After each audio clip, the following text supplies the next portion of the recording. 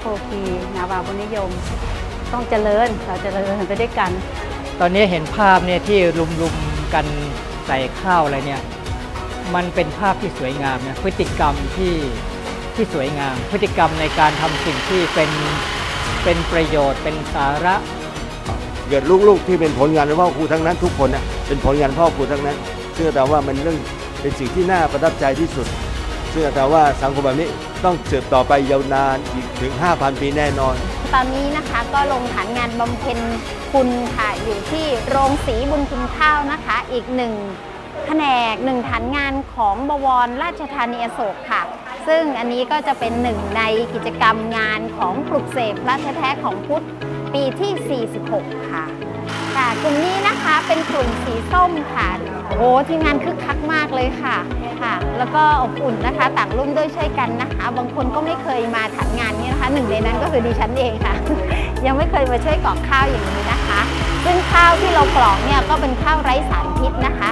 กิจกรรมกิจการก็เข้ามานี่สุดประทับใจสิ่งแรกค่ะ ก็คือความสะอาดความเรียบร้อยเป็นระเบียบ แล้วก็บรรยากาศที่เย็นสบายค่ะ เพราะว่าข้างนอกนี่อากาศร้อนมากเลย เราก็เลยได้มีโอกาสมา ร่มไอเย็นนะคะ ของฐานงานแผนกแพ็คข้าวแห่งนี้ค่ะ ซึ่งก็เป็นถือว่าเป็นการประสานสัมพันธ์พี่น้องต่างบวรนะคะ ได้มีโอกาสมาร่วมมารวมกันเนี่ยหมอนก็มาวันที่สองแล้วเนาะมาได้เข้ามูเข้ากลุ่มอยู่กลุ่มสีส้มเจ้าเมื่อเจ้านี่ไปทำชัยยา ไปเด็ดบักพักชัยยาแล้ววันมะแรงนี้ก็มาใส่ข้าวเจ้า ก็รู้สึกดีประทับใจพี่น้องทุกคนเจ้าที่มาร่วมด้วยช่วยกันเจ้า เรามีโอกาสมาแล้วเราด้วยได้ช่วยมาทำสมาชีพมาร่วมรวมพลังกันอย่างที่เห็นนะนะคะ ภาพบรรยากาศข้างหลังเนี่ยอบอุ่นทีเดียวค่ะ แล้วก็มั่นใจค่ะว่า ถึงแม้ว่าตอนนี้นะคะก็จะมีกระแสในเรื่องของสุขภาพพ่อครูที่ค่อนข้างจะน่าเป็นห่วงนะคะ พวกเราลูกหลานชาวอโศกนะคะ ก็ ยืนหยัดยืนยันว่าจะสารต่องานที่พ่อสร้างค่ะทำพัฒนาต่อยอดนะคะเพื่อที่จะรองรับรุ่นใหม่ในอนาคตหากพ่อครูจะเวียนกลับเปลี่ยนร่างมาอีกรอบหนึ่งพวกเราก็พร้อมที่จะเป็นฐาน เพื่อที่จะต่อยอดชาวอโศกสร้างอโศกแห่งนี้ ให้มารองรับการทำงานของครอบครัวพิสัตในอนาคตค่ะ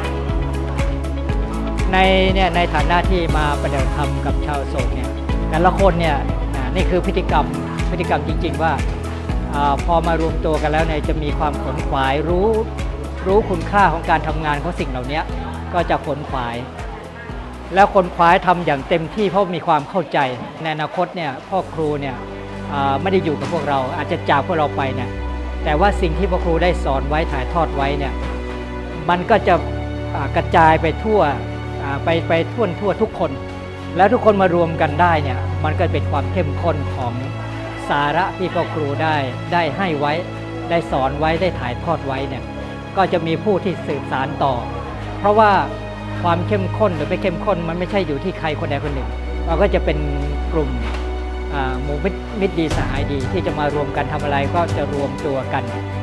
จนกระทั่งถึงจุดที่เรียกว่าเอกีภาวะ มันไม่ใช่การรวมตัว แต่ไมันมีมากกว่านั้นที่ใจไมันมีความเข้าใจมีปัญญาเกิด แล้วก็เกิดการรวมตัวอย่างเหนียวแน่น ด้วยความเข้าใจในการทำสิ่งที่เป็นสาระ โดยเฉพาะสาระของชีวิตเนี่ยในการที่ทำงานไปแล้วก็ได้ฝึกฝนตัวเองไปด้วยฝึกฝนในการที่จะลดนะลดละอิเลสของตัวเองไปในขณะที่ทำงานอะไรอย่างนี้ก็จะฝึก โดยที่มีการทำงานร่วมกันเนี่ยเป็นตัวฝึกนี่แหละมันเป็นสาระของชีวิตเป็นความ แสดงให้เห็นสื่อให้เห็นว่าสิ่งที่พ่อครูเวสสอนไว้เนี่ยมันเป็นมรดกตกทอด ให้เห็นภาพเหล่านี้ที่แต่ละคนเนี่ยพฤติกรรมต่างๆ มันสื่อให้เห็นชัดเจนว่าต่อแม้พ่อครูไม่อยู่ แต่กลุ่มนี้ยังคงดำเนินชีวิตอย่างนี้ต่อไปเรื่อยๆ